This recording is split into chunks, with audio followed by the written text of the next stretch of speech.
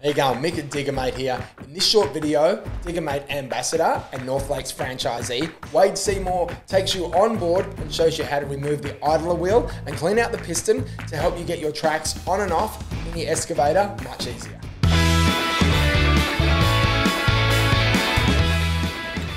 So, um, changing tracks and uh, that one that's gone, and pulling the idler wheel out for maintenance and cleaning.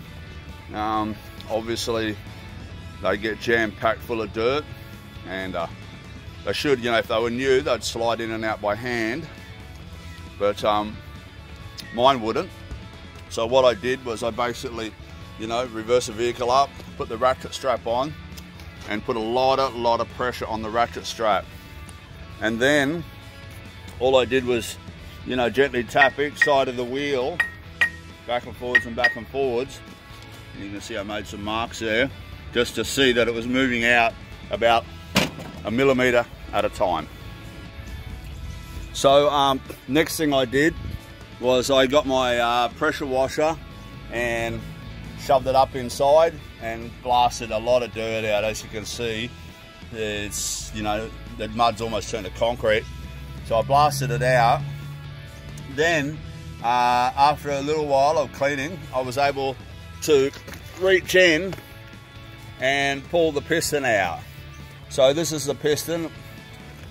When you put the grease into tension the chain the grease goes in here and that pushes the piston out which uh, pushes against that spring that you saw earlier and tensions your tensions your uh, uh, tracks. So I was able to pull that out and give that a clean, and we keep moving. So the next thing I did was, uh, don't know if you can see that, put the piston on the bench, and I was able to pull the piston out by hand, um, mainly just for inspection. And I'm going to run a little bit of emery cloth over this area here where there's slight rust and pitting. Um, it came out very easy and clean and the seals look to be in pretty good order so there was no uh, grease leaking out the piston so I'm not going to replace the seals I'm just going to clean it up and slide it back in.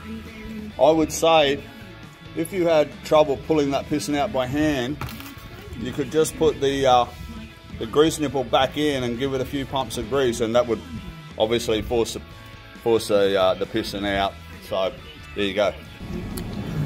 So once you've cleaned the piston up you can, you know, put it back a lot further than, uh, you know, when, when you got it out because obviously there's no, no grease inside here.